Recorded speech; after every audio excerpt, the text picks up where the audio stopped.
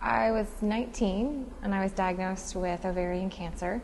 So at that time, I had my right ovary and fallopian tube removed.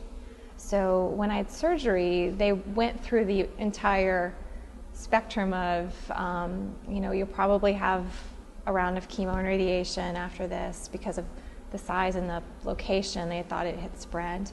Um, and if it is gynecological in nature, I would have a hysterectomy. So I would have had to go through menopause at 19, which didn't sound very appealing, and then not be able to have a family, and then um, potentially still battling for my life at that point.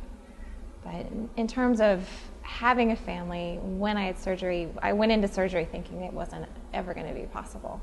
So when I woke up in recovery and they said it was ovarian and it was contained and it was, um, I was very, very grateful.